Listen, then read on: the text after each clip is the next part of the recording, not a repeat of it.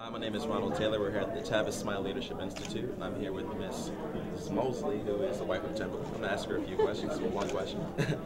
um, my question basically is, as we have a lot of young artists today, especially at my school, for instance, and they really want to get into the business. So, what would you really suggest for them to do now, while they're in high school and like college, so they get get their foot in the door? You know, when I was in high school, I knew I wanted to be involved in marketing and, and business. So what I did was I went and job shadowed and I did internships, even at a young age. I, I feel like that's what you can do. You know, if they want to be artists, call a management company. Go go sit with managers. Go follow artists around for a day. There's tons of programs out there that actually have mentor programs.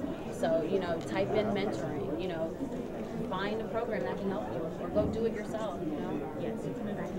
Thank you very much. Welcome.